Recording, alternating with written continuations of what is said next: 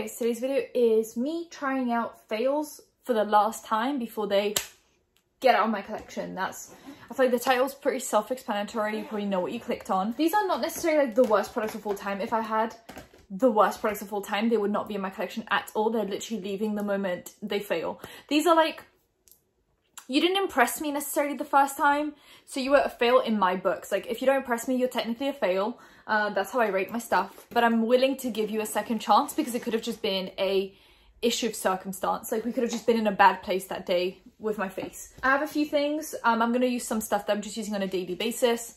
Phoebe's running in. Hello! Say hi to everyone, baby. Come on, up. Show everyone your face. You're so heavy now. She's a big chunk right now. There she is. There she is. Oh, straight paws. okay, baby. We're going to be trying some things that are in my project pan and some things, like I said, first impressions. I'll try to do, uh, I probably won't fit everything into one video. Um, I'll probably do some of these off camera, um, only because I don't want to do too many new things on my face at the same time because I feel like sometimes um, if you apply too many failed products at the same time you're trying to test them out, one could be good because it's being placed on top of like a bad product, it can just look bad. So I'm just going to do like not a lot at the same time. Mwah. So my social media will be in the description along with my drama channel, anything else you might need to find. So let's just get into it, okay? My hair is wild today. It's um this fringe just needs some work and then it'll be fine, but um, I'll do the fringe in a minute. Yeah, the fringe is a little... I had, I had my hair up in a bun, that's why it's a little wild right now. I actually need to do work, BB. I call her BB. I, I call her everything under the sun except for her name. Like, her name is Phoebe, but I do call her pee pee poo poo, BB, anything else that is not Phoebe. I feel like everyone does that with their dog. They give them a name and then they just receive a bunch of nicknames and no one uses their real name anymore. Uh, she does respond to her name though, so that's good. She doesn't respond to anything else. We just like to call her other stuff. Okay, so I'm to try the foundation. It's scary because I don't remember liking it very much, um, but that's fine. So I'm using just my trusted Fenty Beauty um, Dewy Hydrating Primer. I feel like this might help the foundation look good because I remember it being really drying and just... I remember it didn't look good when I applied it and then it looked good once it like warmed into my skin. So I think like an hour or two after I did my makeup it looked fine and then the first application was kind of rough. So that foundation is the Huda Beauty Stick Foundation. I see some people using this and loving it. This is in the shade Angel Food 110N. Um, so I'm just going to do that. Um, I'm going to treat this the same way I treat my Vanish Stick Foundation from Hourglass. Me and this have a love-hate relationship. Sometimes it looks great, sometimes it looks bad. Right now, me and her are having a good run. We're doing great. So I'm hoping that this will also do me good if I use my trusted, brand new Sigma Flat Kabuki Brush F80. Best brush for stick foundation and any foundation, but mainly stick foundation. So just going to do what I do with my hourglass and hope for the best. I mean, it feels pretty emollient. It feels about the same as the hourglass. I know it looks like I'm applying a lot and I am applying a lot. Like this is the mood that I've been in lately. Just like this very like smooth, beautiful, covered skin. I don't know what it is about me. My mood for makeup changes like daily. Sometimes I want skin tints. Sometimes it's, you know, a full face of full coverage makeup. Okay, so far, it's better than what I remember. Not amazing though. Like, it looks fine but it is clinging to some like less smooth areas. Yeah, the issue with it is it looks fine, but it's definitely foundation sitting on skin rather than like foundation blended into skin. So I feel like maybe that's why I enjoyed it a little bit later on in the day because it like settled in properly. But like I don't want to have to wait for my makeup to look good because sometimes I'm like running out the house last minute and like are you telling me I'm not gonna look good for the first hour because my makeup decided to like not settle in properly? I don't know. I mean it looks better on this side for some reason than this side. Maybe it's just a little more dry? I don't know. I don't know what it's really clinging to because I have no dry patches right now. That's where we're at. It's not as bad as I remember it being back then. I feel like back then it just looked awful the first time I tried it. It was not good. But right now it's giving me mediocre foundation, which is still not enough to keep in my collection. But I will try to update you guys in the description box about things that I've decided to declutter versus keep. Um, so if you go into the description, I'll put like next to the products listed, I'll put what I kept, what I got rid of. And then you can make up your mind about, you know, what you want to do with it. Look, on camera, it looks amazing, right? Because everything looks good on camera. That's just how it is. That's just... I have this weird crease in my forehead. I think it's just from like the way I was like leaning on my face. I don't know. Okay, it's starting to warm into my skin and look half decent. Like I think it's looking okay. Hmm, so I'll do my whole face and then I'll see kind of like, let me put my hair back. This is really frustrating me. You know you have like really curled hair and it's all going in different directions, it can get a little bit annoying because it's getting in my face. And I hate watching beauty videos where someone is just, they just have hair in their face the whole video. I'm like, how? I look like Casper the Ghost. This shade is definitely not the best match necessarily.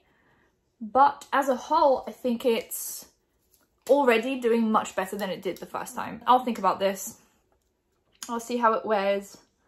I'll see if maybe I can um, finish it kind of the way I used to finish the Hourglass foundation, which is like mix it in with foundations I actually enjoy and use it more of like a spot conceal situation because it does have a lot of coverage. It's just, you know, not the best texture-wise. I think it's fine. I mean, look, it's already doing a thousand times better than it did. I feel like maybe once I apply bronzer and blush and highlight and setting spray, it might actually be a good looking foundation. Uh, because I remember applying this for the first time when I was doing my full face of Huda and I was terrified. I was like, oh my god, it's clinging to every spot. It's not blending out.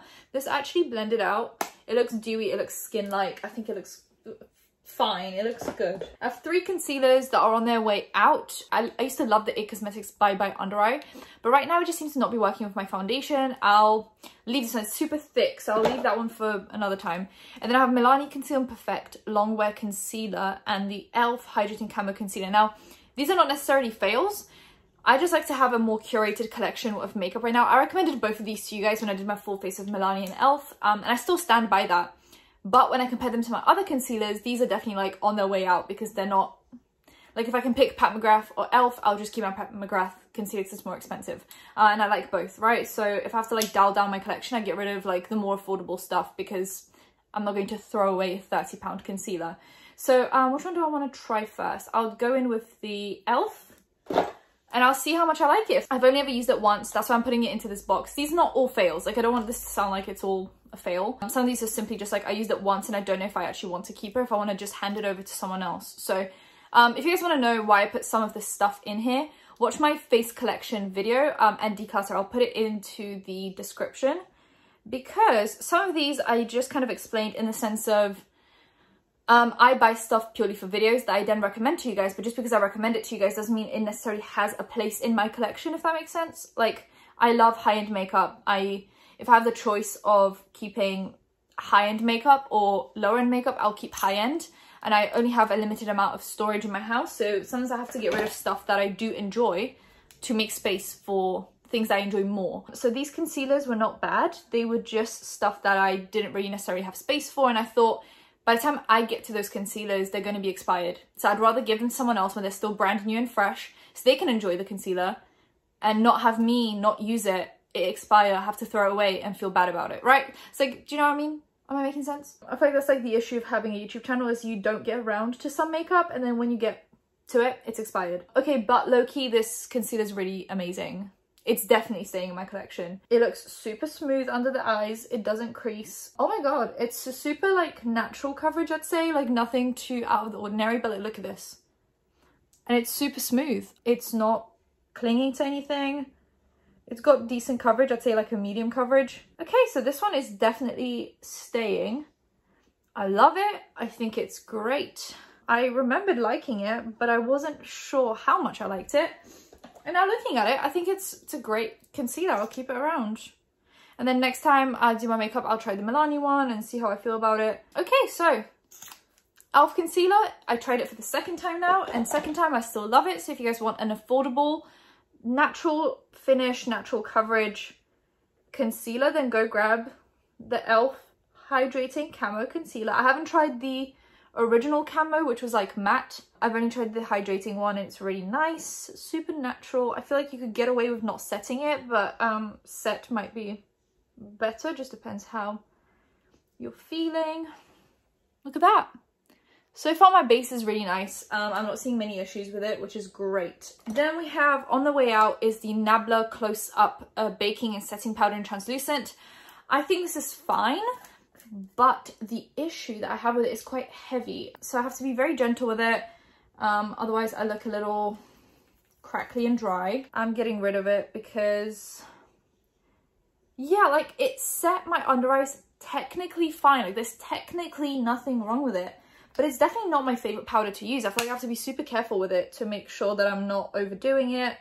Um, otherwise my concealer gets a little heavy looking and yeah, I'm definitely getting rid of it. I don't, I don't like it that much. And I have so many loose powders and it takes ages to get through a loose powder. So I'm just like, look, I'd rather take something that I really enjoy and use it than have a mediocre powder that I'm using just for the sake of using it. I'm so glad to have like a non judgmental audience most of the time. I feel like you guys are literally just like, you don't have to justify why you're doing things. Because I see so many beauty YouTubers have to justify every single purchase and every single time that they cut to something, they're like, oh my god, I, I, I really like it, but like, you know, and they like panic and squirm.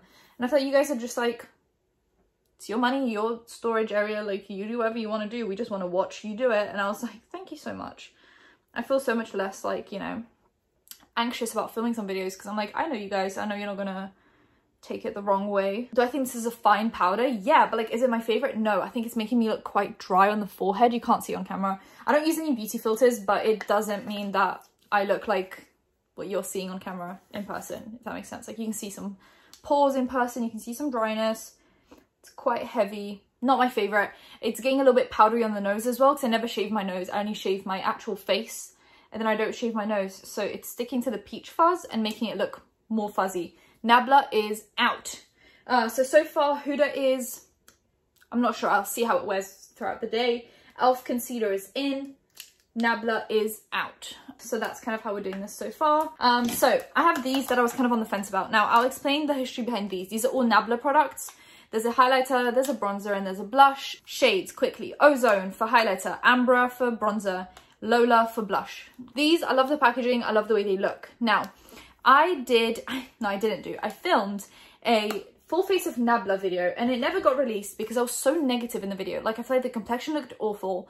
So then anything else I used, I was super like negative about because once your makeup starts going really bad, you can't turn it back around because you're just like, I already feel like garbage. I already feel ugly. So I just didn't release the video because I felt like it wasn't fair on the whole brand to judge it based on a few bad products. So what I'm doing is I'm trying the Nabla product on a good base. This I'd say is a good base.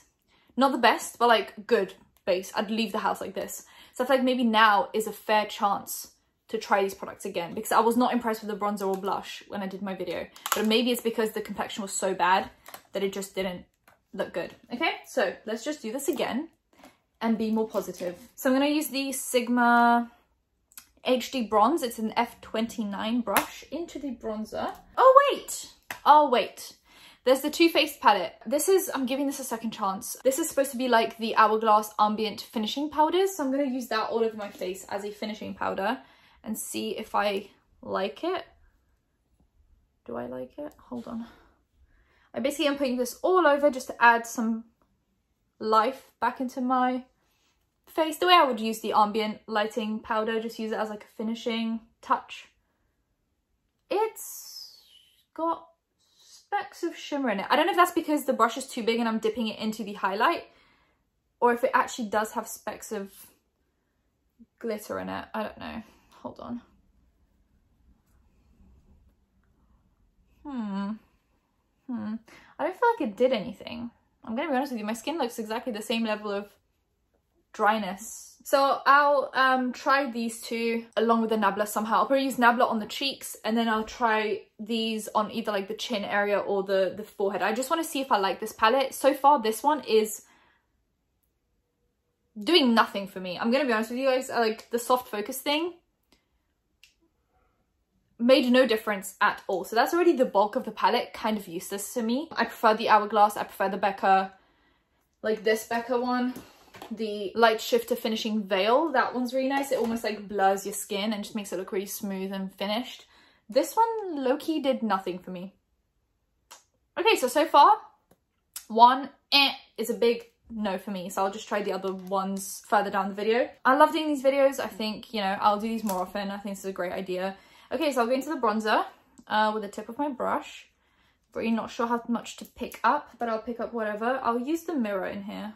I think the packaging is really nice. It's like really expensive feeling. It's very heavy and weighted, but product inside could be better. Um, I don't know which way I picked up the bronzer. So far, very light. I just don't think I picked up enough.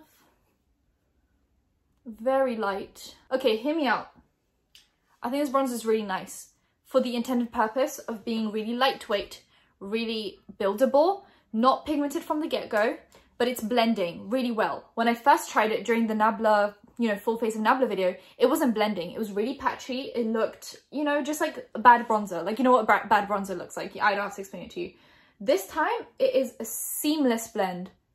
Are you guys seeing this? This is why I love the idea of this video because I feel like sometimes you try a product and it was bad the first time for whatever reason it wasn't great right? And then you try it again and you're like oh okay. And usually once i get turned off to a product i don't want to try it again which is like a flaw in my character and personality. Like i don't want to give it another chance. And these videos are basically going to force me to give products a second chance and possibly find products that i really enjoy. This is a product that I actually feel like I'll really enjoy. My bronzer is higher on this side, lower on this side. I have uneven cheekbones right now. This is embarrassing. I'm doing light taps because my makeup is not fully set. Like, yes, I went over with powder everywhere, but it was like a light dusting. It's not super matte or set, so I'm just tapping so I don't disrupt the foundation underneath. I think I had like a little wet spot of foundation right here, so I'll just blend it out. Definitely not a bronzer issue because it's blending super well everywhere else. It's just like this one spot here. I'm loving this bronzer. I think it's great. It's an amazing texture. Blends out super nicely. You're not overdoing it, so it's not dangerous. Like, you know you've got control over what you're applying to your face. I was about to give this one away. Like, I had it in like a box ready to be given away like a week ago. And I love it. Oh my god, this is really nice. A, a just a really gentle but still usable bronzer. Really nice. Okay, Nabla is redeeming itself for me. Okay, the foundation is moving a tiny bit on my forehead. It's settling into pores, not even moving. It's like the moment I press my brush, the foundation just like sets into the pores. So I'm already kind of, you know, not super happy with that. Bronzer, big yes, love it. Looks amazing. Look how blended that is. It's not harsh. It's not orange. It just looks great. It looks like a bronzer slash contour in one. And then we have this blush. I was kind of underwhelmed by the blush, not brush. I was underwhelmed by the blush, um, but I'll try it again. I was about to give this away to someone, so maybe I'll actually really like it. Okay, just picking up quite a lot because this does seem to be like a more hardly pressed formula. Okay, well, it looks good. So like, clearly clearly it was just in that video the complexion didn't look good so then anything up on top just looked god awful. I played a little bit too much. I was really happy to be you know experiencing this so i just dunked my brush in and now it's i look a little bit clown like that's fine. At least i know it's a good blush. I love the shade I love that it looks very skin-like. Um, it's got a glow to it, which is nice. I love a glowy blush, but it's not like... It doesn't look powdery at all. It's got like a, a baked formula, I think. So it's just um, really good. I always go in with the clean... Well, whatever uh, brush I use to apply powder, I just take that. I don't take any more product and I just go over bronzer and blush to make sure everything is seamless and blended and kind of tapped out. Um, I mean, it's it's just really nice. Okay, so blush, really good. I apply some on my forehead always. Doubles as a little bit of a highlight. Really cute. Okay, well, um, I was wrong. These are really nice. I'll put that into the yes pile. Then we have highlight. Okay, so I'm just gonna go in with my regular um, Real Techniques highlighter blush, blush brush. I keep on getting them mixed up. Oh, and it looks stunning. Oh my god. I missed out on so many months of good highlight because I had some kind of a hmm, opinion based on a first impression that I didn't like these, but I actually love them. This looks so skin-like. Okay, out of the blush, bronzer, and highlight, the highlight is the most chef's kiss beautiful thing. Oh my god. Run out and get these. Run out and get these because they are stunning so blinding, but also super skin-like. No powderiness at all. Oh my god. I look so glowy. Ah, I thought these were going to be not that great. Oh, okay. Love it. It's staying, okay? It's my new favorite highlight. Oh my god.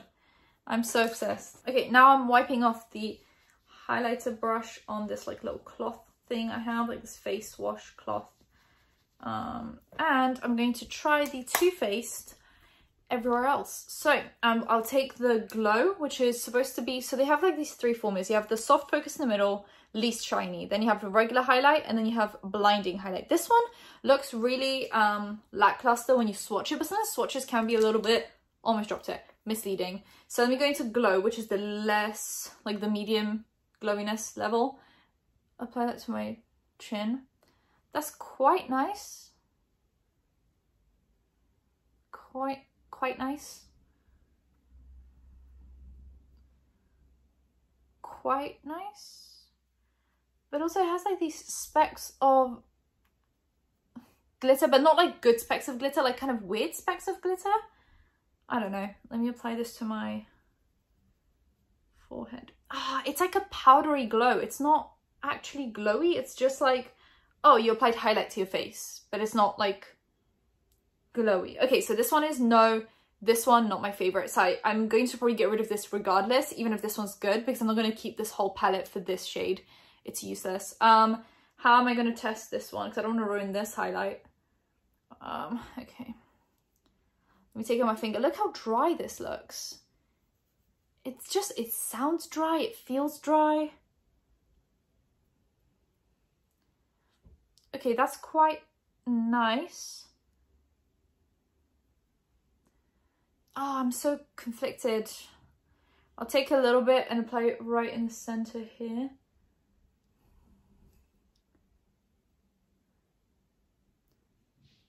Um, okay, this one's probably the nicest of all of them, but I'm probably going to get rid of this because it's not my favorite. Like realistically, these two are not that good and this one is fine but it's also not my favorite so I'll just get rid of this. Compared to everything else I have in my collection and compared to this one, I just did a side by side. You know, it's it's like the happiness I felt for this one and then the mediocre feelings I felt for this one speak for themselves. It's not a bad product, it's just not making me happy right now. So I'm just gonna get rid of it. No, I think that was it for the products that kind of frustrated me a little bit because uh, they were just like chilling in my collection, not really doing anything, collecting dust. So I'll just be finishing my makeup with my regular products. Uh, so I have the Hydra... Oh, wait, yes. Hold on. Okay, so uh, for today's setting spray that I might be getting rid of because it's mediocre and I was going over this in my face collection video. I don't know why I didn't put it in here. It's the ABH Dewy Set. I used to love this thing and then I realised uh, that once you get to about here, it spits at you and then it also makes your skin look very greasy and if you spray it wrong, it leaves, takes your makeup off in some areas. But I don't know, I used to really like this one, so I'll just give it a try. Let me, yeah, that looks fine, I guess. But like, oh no, no, no, no, no, no, no. It left dots, as you can see. Um, this is a no from me. I hate, hate, hate the sprayer on this one. This is a fresh, brand new, I had to like spray a few times for it to go, like that's how new this is, and it's going away to another home. no thank you. I'll stick to my regular ones. I'll use the Milk Hydro Grip and the Farsali. I'm almost finished with this one. That was bad. That's exactly the experience I remember having with it. And I'm, yeah, I'm just not keeping it because like, look at this spray, right? No droplets. I look wet right now. Just no, I'm not even going to explain why I'm not keeping that setting spray. You guys saw it. I saw it with my own two eyes. I used to be obsessed with it. Like, I feel like, you know, your style of makeup and your expectations and standards change so much when you like grow and use makeup more and more that sometimes you go back to like your holy grails and you're like, how did I ever make this work for me? And like, I didn't make it work for me. I just kind of didn't have high standards back then, I guess. I don't know. Uh, or maybe they changed the sprayer. I don't know what happened to it. I feel like I used to really love that setting spray. Um, I think that was my first introduction to dewy setting sprays though, and I feel like maybe my standards for dewy setting sprays weren't that high. So now that I've experienced good ones, I'm like, oh, that wasn't that great. Uh, then I'm going to go with the Farsali. Like even this one, the spray is so good on it. Okay, right now the foundation is looking really nice actually. And where it's settled, it kind of fixed itself a little bit. Still using my MAC Paint Pot in Soft Ochre. This is where we're at as my primer for eyeshadow. And I'm using the Sigma Soft Blend Concealer Brush F64. I don't really feel like doing crazy eyeshadow today. I feel like I just want to kind of do something simple. So I'll take the That's Taupe Super Shock shadow in Ritz and I'll apply that all over my eyelid. Eyeshadow blending brush. Should have done this the other way around, but oh well. I'll go into my Glam palette from Natasha Denona and use blend and crease mixed together and swing that through the crease um, just to add a tiny bit of definition. This is such a simple thing to do. It just works. Um, just using basically like one shimmer shade, one matte shade.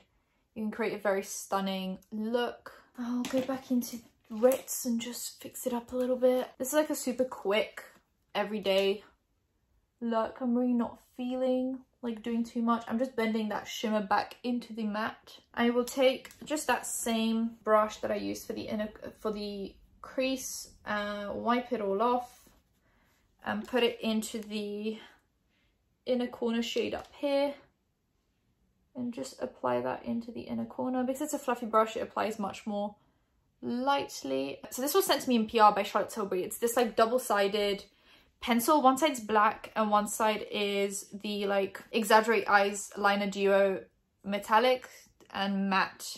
Um, someone used this on TikTok and they were like, amazing. And I was like, yes, I have that. Let me use it. I use this to line my tight line, which is the black side. And that immediately makes your eyes look wider and makes them look, makes your eyelashes look more thick. Look at this so much nicer. It makes my eyes water when I do it though. So I go in and I just line kind of on the outer edge here.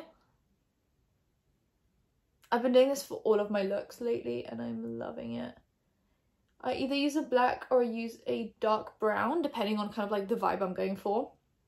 And then I just gently flick it out. Even if it's chunky so far and not super like nice looking. Just just go along with it. It's fine. And then just do the same on the other side. You don't have to be too careful. You can be quite messy with this. I feel like the more messy the better. Um, but also it's, it's a pencil liner. Like you can fix it super quickly. Flick out. Join it back together. And I do the same kind of here. Where I line kind of like like as much as I tight lined, I kind of go back in and kind of like really fill in this inner corner bit and I leave pretty much the whole center empty. And I feel like that's what makes my eyes look more open and makes the liner look less dramatic while still getting the effect of a liner, you know? Sometimes I feel like a regular like liquid liner is just so dramatic, so difficult, and it just is like, it's just difficult to do, honestly. Um, I don't have the energy for it most of the time. I'm just wiping off my brush. Sorry that that's... Okay, I take an angled brush and I just go in and I start um, blending. Okay, so I just smooth things out. That's why it can be a little bit messy when you're starting out because you're going to smooth it out anyway. The brush is just there to make it look less choppy and just a little more smooth, a little more like smoky and blended. See? It's more faded this way and I think because the brush blends it out and fades it out, it just looks a little more natural and less like, you know, just more effortless, less like you're trying and more like it's just like, oh, I just did this in two seconds because you did. You did do it in two seconds. And flicking it out. The brush, because obviously with a pencil it's difficult to do a skinny line, a crisp line, you can use the brush to just flick, flick, flick, flick. And that blends it out and fades it out, which actually gives you that sharp line. Then I go in with the light side. I need to sharpen this one. And I go on the waterline. And I feel like it just opens up the eyes. Can you see that? Bigger eye, smaller eye. Without being too dramatic the way a white or a nude liner is. Very dramatic. This one's just subtle difference. I also take it and I go on the skin here and on the skin right here and then inner corner highlight. Inner corner highlight. It stays on for so much longer because it's not powder. I even use that as a brow bone highlight sometimes. Very easy. Love that one. Okay so there's that. Definitely not a fail. I love this palette so much. It's just good stuff. Then i'm just going to do brows. I have no fails for brows I'm just doing my thing. I'm using the Charlotte Tilbury Brow Cheat. Brows are supposed to be cousins, like very distant cousins, not even like hanging out at family functions. They're just supposed to like exist in the family tree. That's it. Brow gel. I have no fails for brow gel. I love brow gel in all forms. This is the Legendary Brows by Charlotte Tilbury. Mascara, also no fails. I got rid of a bunch of mascaras that I was kind of like iffy about um, and I kept just the ones that I really enjoy. Legendary Lashes Volume 2 by Charlotte Tilbury. Focus it on the outer lashes first. First layer, you don't touch the inner corner. You just do this outside bit right here. Outer corners, done.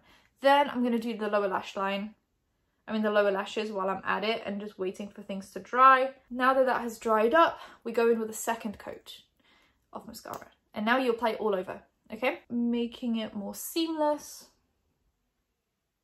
So, so far you've basically got two layers outer corner, one layer inner corner. We're just brushing out any clumps now, not taking any more mascara, not dunking into the tube, just blending out with this like dry-ish brush. And look at that.